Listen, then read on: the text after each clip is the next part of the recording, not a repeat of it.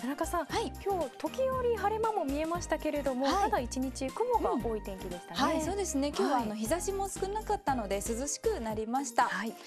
えさあ今日はですねまず台風の情報からお伝えします。え現在フィリピン付近にある台風20号なんですが今後南シナ海を西に進んでいく見通しです。はいで現在発表されているこの5日先までの予報では日本に接近することはない見込みとなっています。か。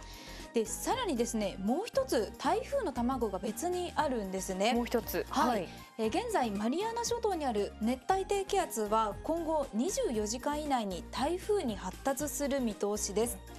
でこちらもまだた、えー日本に近づく予想は出ていませんけれども、ええ来週ですね、えー前線の活動を活発にしまして、えー雨の降り方を強める可能性がありますのでこちらは今後の情報に注意をするようにしてください。なるほど。まあ10月ももう終わりに近づいてきましたけれども、はいまだ台風には注意が必要ですね。そうです。ね、えー現在台風シーズンの終盤と、はいはいなっています。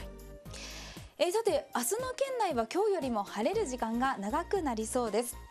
明日午前9時の予想天気図がこちらです明日日本付近は日本海に中心を持つ移動性の高気圧に覆われる見込みですこのため、えー県内は日中はおおむね晴れて、うんえー過ごしやすい体感となりそうです秋晴れになりそうですかね。はい。で明日の予想最高気温見てみましょう。え明日日中は22度前後のところが多くなりまして今日と同じぐらいのところがほとんどでしょう、はい。で一方で明日の朝は今朝よりも冷え込みが強まりまして14度くらいまで下がるところが多くなりそうです、はい。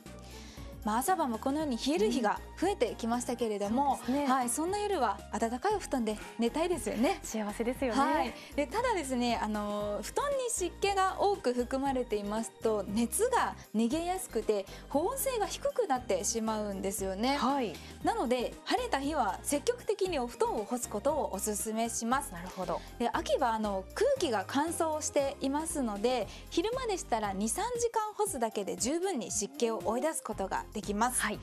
明日はね晴れますからぜひ日差しを有効にお使いください